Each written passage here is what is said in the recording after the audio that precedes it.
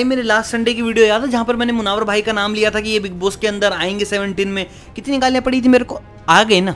हो गया ना? कंफर्म तो मैं बोल रहा हूँ लल्लुओं मेरी बात मान लिया करो। कुछ तो कुछ तो नाटक होंगे, तभी वीडियो बना रहा हूँ भाई। तभी एक लाख सब्सक्राइबर हो गया अपने। बाकी अभी मैं आपको मुनावर के साथ साथ और बहुत सारे कंफर्म कंटेस्टेंट के नाम बताने वाला हूँ, जो आपको मिलेंगे ही मिलेंगे। थीम मैंने पिछले वीडियोस में आपको बता दी, वो जाके आप देख सकते हो। तो सबसे पहले जो कंफर्म है, बिल्कुल कंफर्म है, वो आपकी अंकिता लोखंडे एंड विकी जैन उनकी हस्बैंड है, और ये कपल में आ रहे हैं।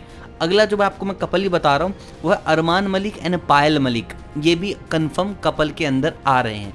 अगला जो है, वो है ऐश्वर्या शर्मा एंड नील भट्ट, ये भी कंफर्म है और ये भी आ रहे हैं। मुनावर भाई का नाम मैंने ले दिया है। देन यूके राइडर अपने बाबू भैया, ये भी बिल्कुल कंफर्म है, ये आ ही आ रहे हैं। देन एक नाम और है दैट इज़ तहलका प्रैंक ये भाई, आपने इनको देखा होगा बहुत बार, अरमान मलिक के साथ ही। प्रैंक वीडियो बनाते रहते हैं, हरियाणा के ही हैं। एंड एक और नाम, जो है एलविश यादव की एक्स कृति मेहरा, जिनको काफ़ी पिछली बार फेम मिला था तो वो भी आ रही हैं। और जितने भी लोग सोच रहे हैं कि भाई साहब जेनिफर आएगी तो sorry guys she is not there